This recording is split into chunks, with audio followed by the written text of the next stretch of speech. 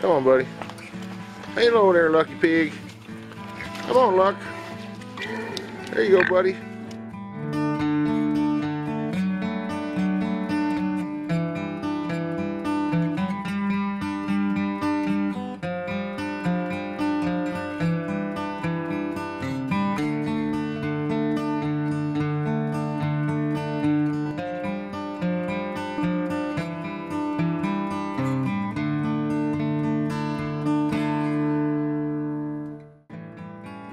And we never know how long we're going to have each pig that comes here.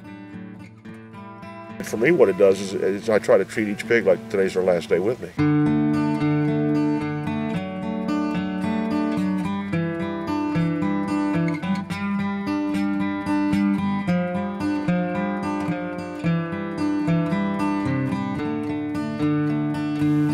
I'm just privileged to get to live and work with them.